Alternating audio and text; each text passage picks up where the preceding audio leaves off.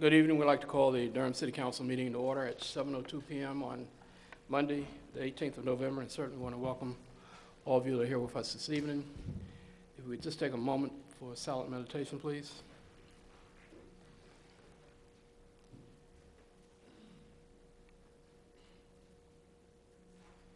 Thank you. Ask Councilman Brown, uh, I was going to ask Councilman Brown to introduce Faith to do the pledge. Uh, Good evening. Uh, Tonight, Faith Jones will lead us in the Pledge of Allegiance. Yes, take it. He's safe. Okay, thank. Tell them.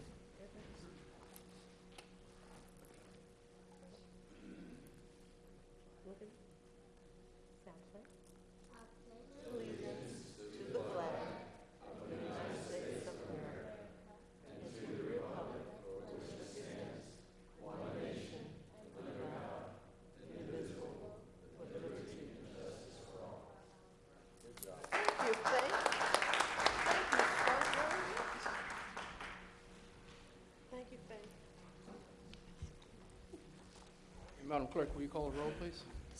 Mayor Bell, Present. Mayor Pro Tem Cole McFadden, Councilmember Brown, Here. Councilmember Catotti, Councilmember Moffitt, and Councilmember Schewel. All right, thank you. Let me ask, are there announcements by members of the council? Any members of the council? If not, I'll recognize the city manager for priority items. Uh, Thank you, Mr. Mayor. Good evening, everyone. No priority items this evening. Likewise, the city attorney, Thank you, Mr. Mayor. No priority items. and likewise, city clerk. No items, Mr. Mayor. Uh, that ca- in um, Seattle for the National League of Cities uh, Annual Conference, and I received uh, an award uh, for the city, the Digital Survey Award, and we were number three in our category. So you can give us a round of applause for that. Um, I forgot to bring, I thought I had the award in my car, but it is not, and so I will present it officially to the manager at our next meeting. Thank you.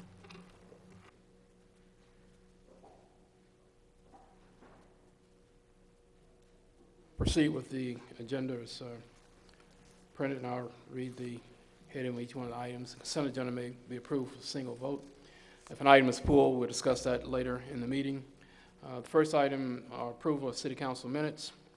Item two are boards, committees, and commission attendance reports for the period July 1, 2012 through June 30th, 2013. Item three is the Human Relations Commission appointment, and I'll pull that item. Uh, Item four is street and infrastructure acceptances. Item five is 2014 City Council meeting schedule. Item seven is lease of non-residential property and contract for service with Rebound Alternatives for Youth, a nonprofit organization. Item eight is a mortgage loan servicing contract.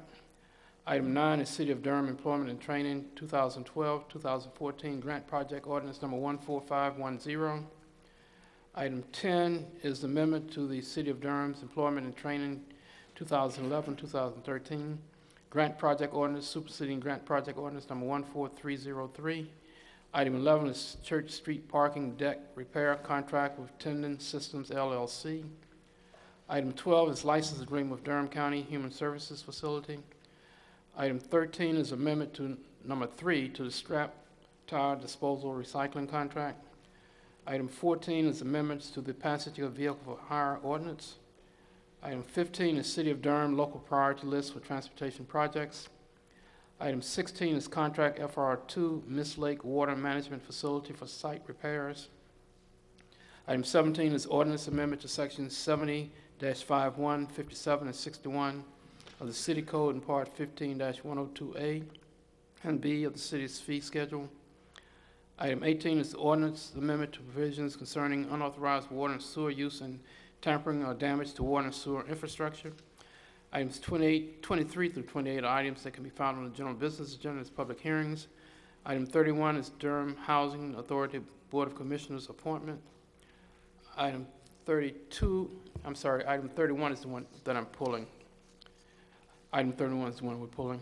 Item 32 is a contract amendment with Carter Global Associates LLC Professional Services for additional consulting services for police. Entertain a motion for the approval of consent agenda items with the exception of item one. Item thirty-one. It's been properly moved and second. Madam Clerk, will you open the vote? Close the vote? It No. passes six to zero. Three, it was thirty-one that I pulled, not, not three. Under general business agenda, public hearings, assessment and improvements. Item twenty-three, mini assessment roll for water main on Ardmore Drive. Good evening, Mayor Bell, Mayor Pro Tem, members of council. I'm Marvin Williams, Director of the Public Works Department. Item 23 is a mini assessment roll for confirmation of the water main assessment on Ardmore Drive. The assessment was originally confirmed at the September 3rd, 2013 council meeting. After confirmation, but within the 15-day limit for objection, the property owner at 1012 Ardmore Drive objected to her assessment based on hardship. Staff has reviewed the item and recommends that the city council conduct the public hearing, receive public comments, re- reconsider the water main assessment, assessment against 1012 Ardmore Drive, and confirm the assessment in the original amount with a 20-year pay period at 1% annually, as shown on the attached mini roll. This recommended action is in accordance with the City of Durham Financial Hardship Assessment Policy previously approved by council. You've heard the recommendation by the administration. This is a public hearing. The public hearing is open. Would ask first for the comments by members of the council. Uh, Is there anyone in the public that would like to speak on this item? Uh, This being an assessment roll for water main on Ardmore Drive. Uh, Let the record reflect that no one in the public wanted to speak. I will declare the public hearing to be closed. Matters back before the council. Second. It's been properly moved and second. Madam Clerk, will you open the vote? Close the vote. It passes six to zero. Item twenty-four is confirmation of assessment rolls for water main and sewer main on Wedgewood Lane. Once again, good evening, Mayor Bell, Mayor Pro Tem, members of council, Marvin Williams, Director of Public Works. Item 24 is to conduct a public hearing to confirm water and sewer assessment rules for improvements that have been completed on Wedgewood Lane. Properties in the attached assessment rolls have been, have benefited from these improvements, and the Public Works Department recommends that a public hearing be conducted and that the city council adopt a resolution confirming each of the subject assessment rolls. Again, this is a public hearing. You've heard the staff report. Are there questions, comments by members of the council? Uh, Likewise, would ask, is there anyone in the public that wants to speak on this item? Uh, Let the record reflect, no one in the public asked to speak. I will declare the public hearing to be closed. Matters back before the council. It's been properly moved and second. Madam Clerk, will you open the vote? Close the vote. It passes six to zero. Item, sorry. Item twenty-five, consolidated annexation item, Hope Crossing at twenty-eight hundred Independence Avenue. Good evening. Pat Young with the Planning Department. Um, Before you is the consolidated annexation annexation item for a .29 acre uh, portion of a parcel located at 2800 Independence Avenue, which is just to the east of Junction Road, uh, and within unincorporated Durham County. The applicant is Stewart Engineering on behalf of Habitat for Humanity, uh, who wishes to incorporate this property into a proposed Hope Crossing 2 development, which will include 29-plus acres of land already within the city limits and immediately adjacent to the subject property. The comprehensive plan amendment and zoning map change to upzone this property are the following items on tonight's agenda. Uh, This action would annex the property into the city and apply an initial zoning of residential suburban 20 or RS20 on the subject property. Uh, Staff recommends that the council approve the voluntary annexation and initial zoning uh, for 2800 Independence Avenue. Be happy to take any questions. Thank you. This is a public hearing. You've heard the staff report. Let me ask, are there questions? Recognize Councilman Moffitt. Yes, Mr. Young, uh, uh, do you want to address uh, notification? Thank you, Mr. Moffitt. I I had neglected to provide the uh, required certification. Uh, The the item you just uh, heard the staff report on and all subsequent items have been uh, uh, provided notice in accordance with the provisions of law and our affidavits on file with the Planning Department to that effect. Thank you. Are there further questions, comments by the council? Is anyone in the public wants to speak on this item? This being an annexation item.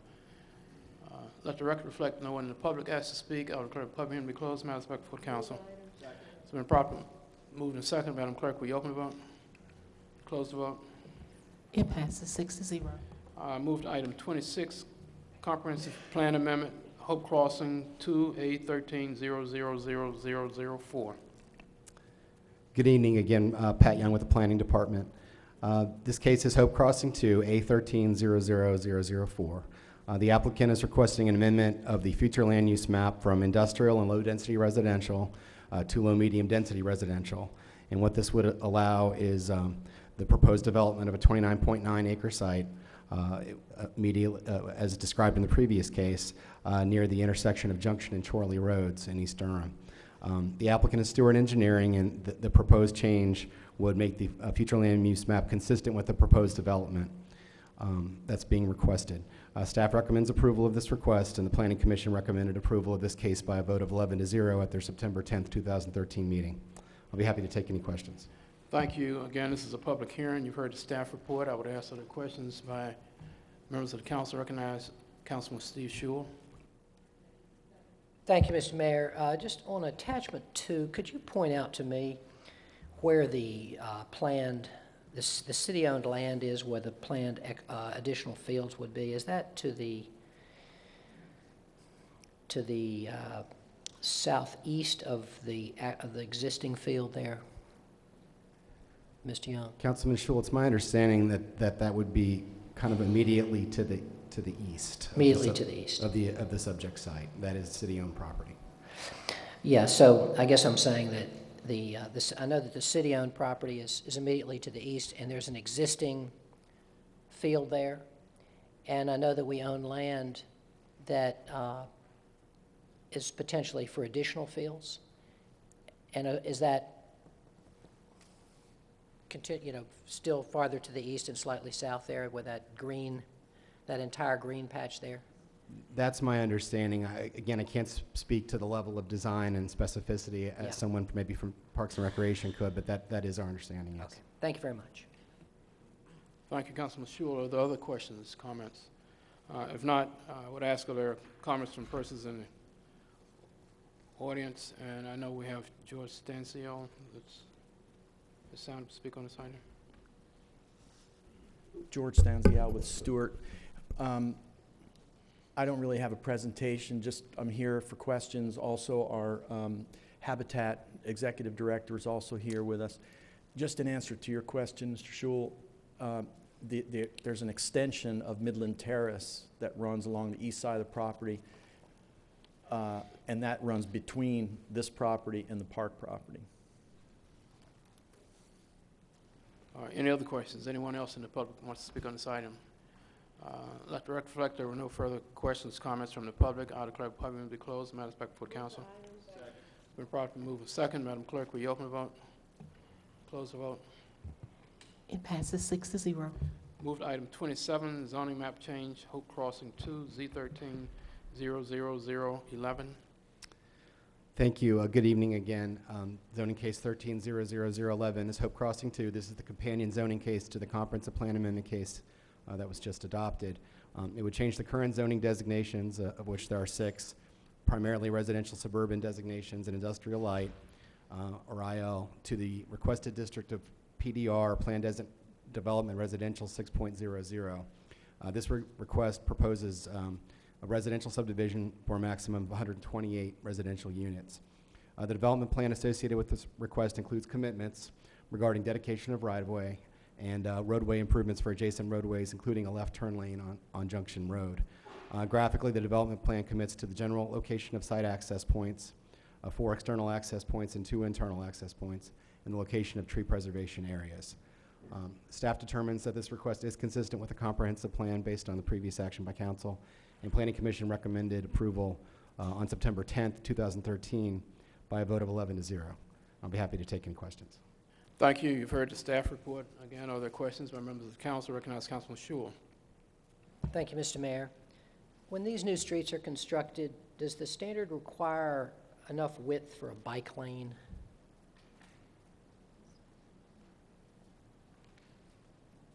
I'm going to ask Bill Judge with Transportation to address that question.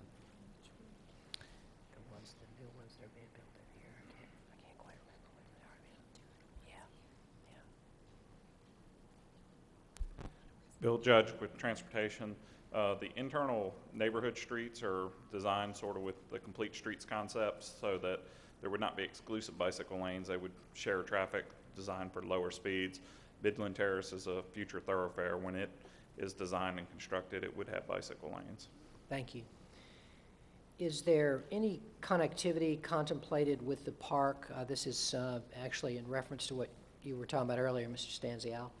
Uh, Is there any connectivity contemplated with the park at this point, and is that something that we want? There, not until Midland Terrace is constructed, um, if uh, there would be connectivity with the development of Midland Terrace and as well as the park property. Okay, thank you. Are there further questions about members of the council? Uh, If not, uh, again, this is a public hearing. Uh, George Stansfield had signed up to speak on this item. Are- Are there other persons who want to speak? Uh, Let the record reflect that uh, Mr. Stansfield chose not to speak. Does anyone else want to speak on this item? If not, uh, declare the public hearing to be closed. Matters back before the council. It's been properly moved and second. Madam Clerk, will you open the vote? Close the vote. It passes six to zero. Thank you. Moved item 28, consolidated annexation item, Mineral Springs Road Residential.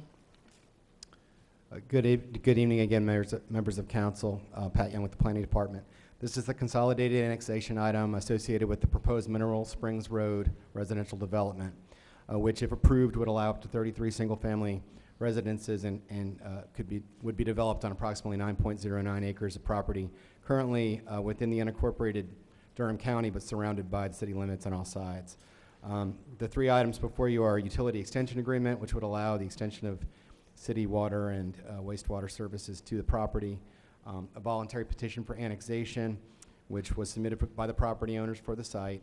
Uh, The Budget Management Services Department did conduct a fiscal impact analysis uh, and service delivery analysis for this property, in which projected uh, that the estimated revenues from this project would exceed expenditures following annexation. And finally, would be an initial zoning, which would apply uh, requested plan development residential zoning of 4.140 um, units per acre on the subject property, uh, and that is consistent with the adopted comprehensive plan in terms of the future land use designation.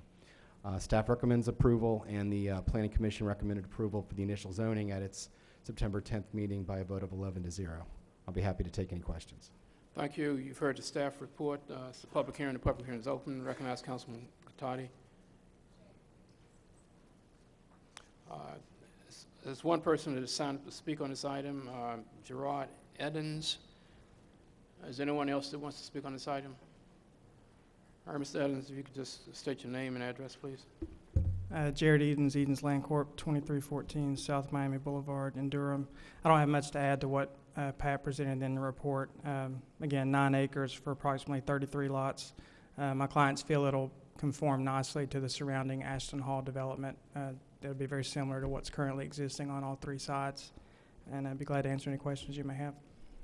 You recognize Councilwoman Catotti. Thank you, Mayor. Excuse me, I had several questions that the Bike and Pedestrian Advisory Committee had raised, and I didn't see them as committed elements, so I guess I'll ask staff um, if they can remind us of any committed elements, and then Mr. Edens, if you could comment on them. Essentially, BPAC suggested um, a text commitment to create pedestrian stub-outs, a text commitment to create bike ped connection on Mineral Springs Road, uh, bike frontage lanes on Mineral Springs, yeah, and asphalt widening as well. Staff, can you comment on that? Sure. So um, we evaluated the request from the Bicycle Pedestrian Advisory Commission, as we always do. Uh, None of these requests were ordinance-based, so we passed them on to the applicant, and and none of these proffers were made, so. Uh, But I thought that we had a, that we were proffering a pedestrian connection out to Mineral Springs Road. I believe we are graphically. Okay, I apologize. M- Mr. Judge reminded me that the right-of-way was committed for number three, so the right-of-way for the additional, and and I apologize, to Mr. Edens and the applicant. The right-of-way for number three is a committed element uh, to dedicate the additional right-of-way for the future addition of bike lanes. And there is a text commi- commitment that would al- allow for connectivity to Mineral Springs Road from the property for pedestrian purposes. Yeah, sure. Recognize Councilman Schewel. Had you finished, Councilwoman Catotti? Recognize Councilman Schewel. Thank you, Mr. Mayor, and I appreciate that right away. I think that's important in the long run, and I think it's great y'all are going to proffer that. Um, Explain to me a little bit, uh, uh, Pat, the the memo says the cumulative net gain to the city at build-out is $165,000, but the financial projection is so much higher, continu- continuing cumulative net gain to the city. I I never see the $165,000 on that chart. Are are you, do you know what I'm talking about there? Are you with me? I, I, I think I do, Councilman Schewel. Um, I'm not sure that I could um, speak comprehensively to the methodology used by Budget Management Services uh, in that regard. Yeah. Um, But I, I am confident it's something uh, they've looked at carefully, and it's, a- it's a a sound model that Yeah. comprehensively evaluates impacts over time. Yeah, I mean, I- it looked to me like the, the actual cumulative net gain to the city over time is substantially more than that. I was just, that, that figure was, I guess, in the memo. To be honest, I read it a few days ago, and I can't remember exactly where I saw it. But I, I I never could find it on the spreadsheet again. Um,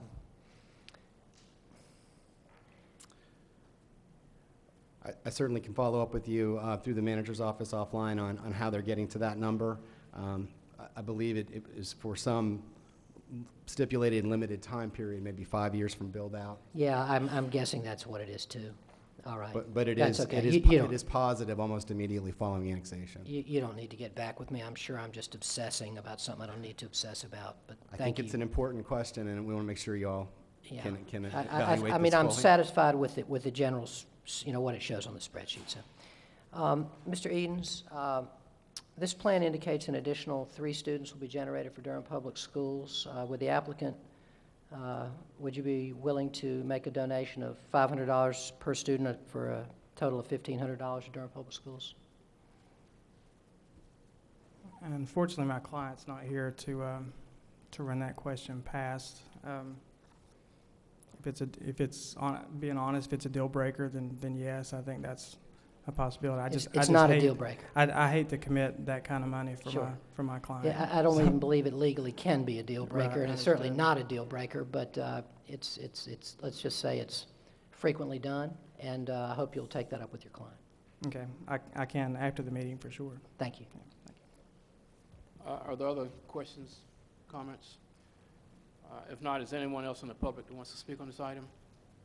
Uh, Let the record reflect that no one else asked to speak. I will declare the public hearing to be closed. Matters back before the council. Second. It's been properly moved and second. Madam Clerk, will you open the vote? Close the vote. It passes six to zero. Thank you. Before we move to the item that had been um, pulled, I want to recognize, we have some Boy Scouts in the back. I don't know if anyone recognized them before we came. If you mind standing, just tell us what troop you're with and who you are. What troop were you with? Well, welcome to our meeting. We've got a very abbreviated meeting, but hope you enjoyed what you saw. Great. Thank you. Item 31 was pulled, the Durham Housing Authority, Steve Hopkins.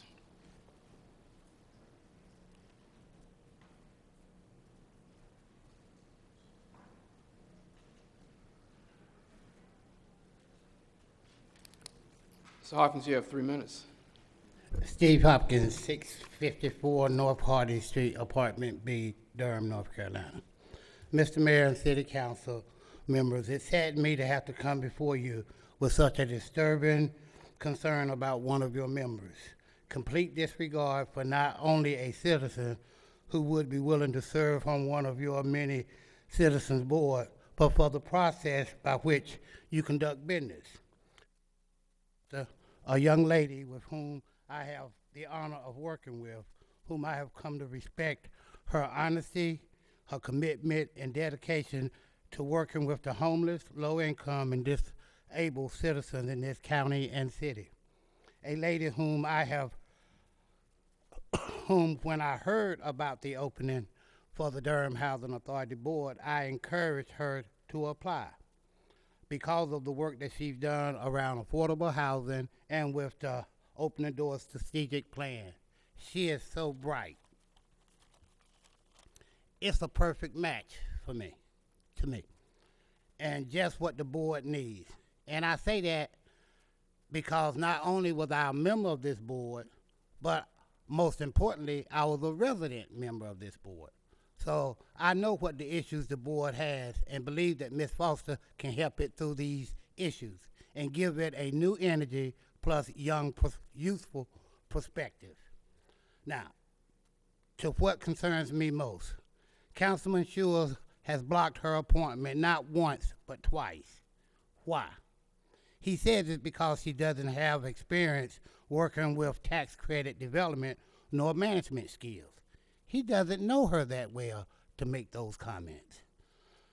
And I say, let the work that she's done speak for itself. Now, to my real concerns. A, Councilman Schewel knew about the upcoming opening on the board before any of you or me. So if he had a certain kind of person in mind, he should have had that person apply. B, there is a process by which the council is supposed to go through re-advertisement board appointments. C, if what I said in B is true, then Councilman Brown, Moffitt, and Catotti should have known better and not allowed the process to be continued. D, if, is this the message the council wants to send out to the, to its residents? That any member of council can change the process at any time? That only, uh, you want people who are handpicked to serve on these many boards?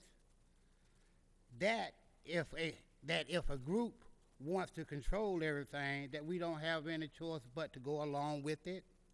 The action taken and the fact that all four of the white members of council voted to extend the deadline and the fact that three of them are PA members also concerns me. Ca- Councilman Short. Hopkins, um, You want me to continue? I just give my if you note. could give it to the, to the clerk, if you don't mind. Thank you. But thank you for your time. Sure.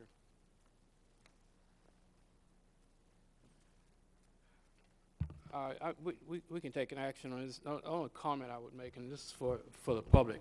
It, it has been generally the practice of this council that if any council member requests a deferral on an appointment, uh, we grant that. Uh, at least that's been the process since I've been mayor. And I don't think we've ever not granted that. I was not here at the meeting when it happened, but that's generally the process we have. If, if a council member raises a question and asks for a deferral on an appointment, generally that, that's granted. But I, I'll, I'll leave it at that. Uh, If there are no further comments, I entertain a motion on the item. It's been properly moved and second. Madam Clerk, will you open the vote? Will you close the vote? It passes six to zero. Thank you. Are there any other items to come before the council? If not, the meeting's adjourned at 7:30 PM. Thank you.